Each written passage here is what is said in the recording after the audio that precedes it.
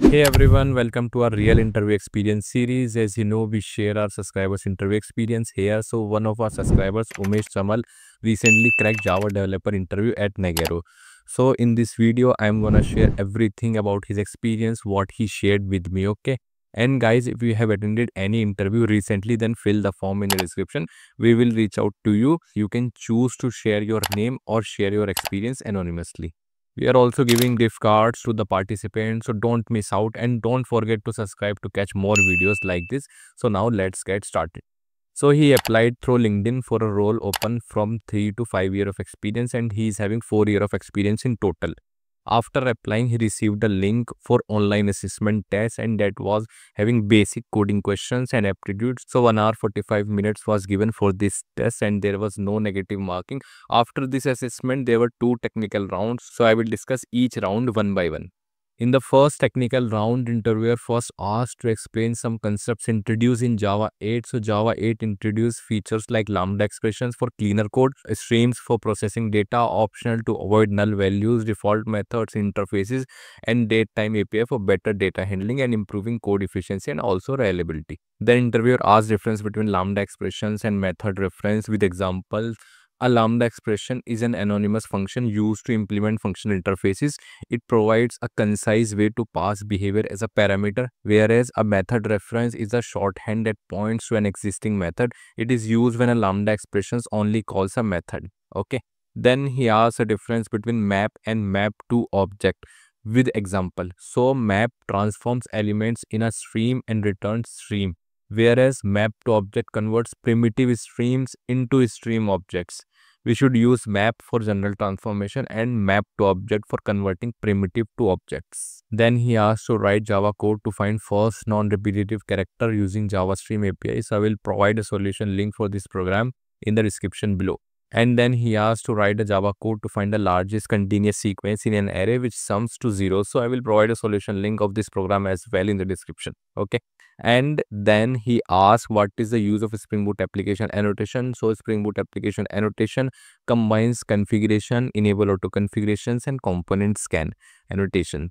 It simplifies spring boot application setup by enabling auto configuration component scanning and defining beans. It reduces boilerplate code and makes application configurations easier then interviewer asks difference between IOC container and application context. So IOC container manages object creation and dependency injection, whereas application context is a more advanced version providing additional features like event propagation, internationalization, and AOP support. Application context extends Bean Factory, making it more powerful for enterprise applications. Then they asked to explain the implementation of JWT token. So JWT stands for JSON Web Token. It has three parts, header, payload and signature. The server generates and signs a token, sends it to the client and verifies it on the future request. It is used for authentication in stateless applications. Then he has to explain the significance of signature in JWT token. So the signature in JWT token ensures data integrity and authenticity. It is generated using a secret key and verifies that the token was not modified. If the signature is invalid, the token is considered tampered or invalid. Before moving ahead, guys, I would like to share one important thing with you. Actually, we had launched complete interview preparation material, structure step by step by myself, expert and MNC's interviewers. And the best part is that now no one need to go anywhere else to prepare interviews. Uh, there is a 99% chance that interviewers will ask questions from this material. So basically it contains a lot of material categorized by experience level means each experience level has different material with all possible interview question and answers for Java, Spring Framework, Maven, Git, Spring Boot, Spring Security, Spring Data, JPA, Kafka, microservices, Java coding questions, Stream API coding questions and many more. I have provided the link to get this in the below description. If someone need this material plus two real client enterprise projects for reference plus one-on-one -on -one lifetime doubt sessions and the referrals to the big MNCs then they should check the interview preparation kit. I will provide the link for this as well in the description below. So now moving to our interview experience.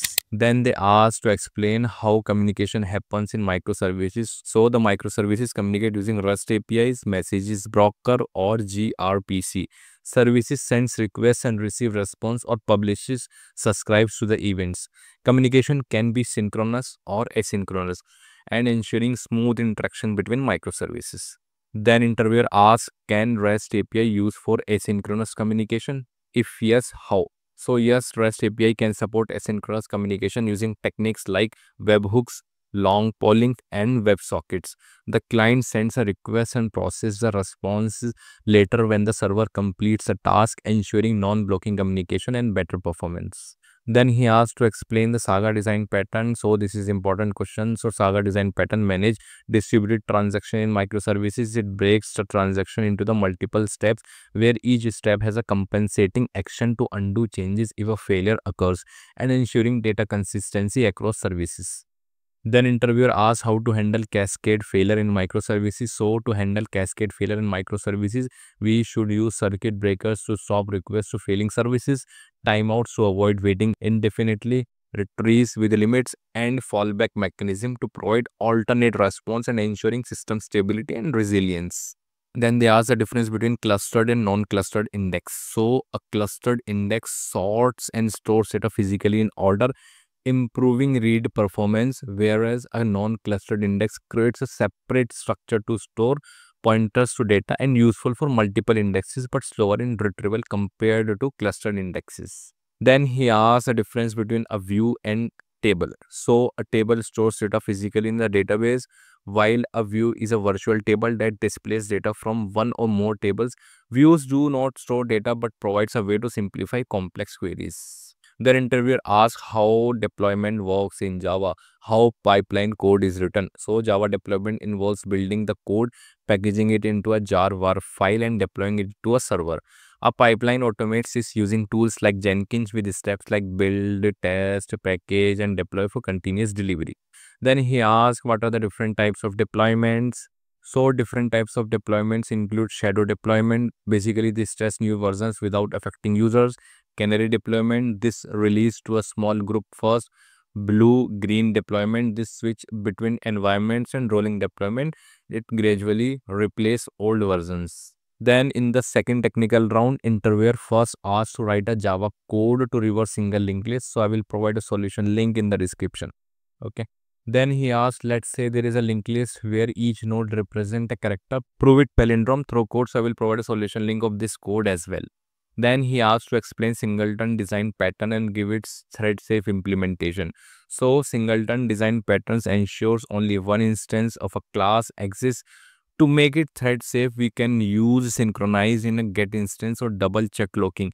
This prevents multiple threads from creating different instances simultaneously and ensuring consistent behavior. Then he asked to explain difference between hash map, linked hash map, tree map with examples. So hashmap stores data in random order. Linked hashmap maintains the order of the insertion and tree map sort keys in natural order. We should use hashmap for fast access. We should use linked hashmap for maintaining order and we should use tree map when sorting is needed. Then he asked to explain Saga design pattern with real-time example. So the Saga design pattern manage distributed transaction in microservices by executing a series of steps. For example, in an e-commerce system, placing an order triggers payment, inventory, check, and shipment service. If one step fails, compensating actions rollback changes. Then they asked to explain the difference between concurrent and synchronized hashmap. So concurrent hashmap allows multiple threads to read and write safely without locking the entire map improving performance, whereas synchronized hashmap locks the entire map and allowing only one thread at a one time and making it slower in a multi-threaded environment. Then they ask how to avoid deadlock in Java. So to avoid deadlock in Java, we should follow a consistent locking order. We should use try lock with timeouts, minimize synchronized blocks and avoid nested locks. Detect and handle circular dependencies to prevent threads from waiting indefinitely. Then he has to explain unique primary key and foreign key. So unique key ensures all values in columns are different. Primary key uniquely identifies each record and doesn't allow nulls, whereas foreign keys links two tables enforcing referential integrity by referencing the primary key in another table.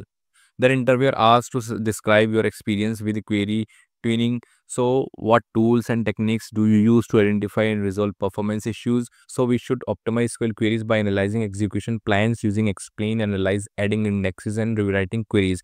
We should use tools like mysql workbench and pg admin to identify slow queries and resolve performance issues by reducing execution time. Then he has to explain the difference between path variable and request param with example path variable extract values from url path whereas request param retrieves query per parameters from url for example path variable handles uh, slash user id slash id as user 1 whereas request parameter process user question mark id is equal to 1 by fetching the value from the query then he has a use of response body annotation. So response body annotation in Spring converts a method's return value into a JSON or XML response and send it to directly to the client.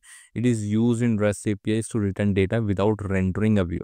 So guys, this is all about Nagarro Java developer interview experience and don't forget to check interview preparation kit. Thank you.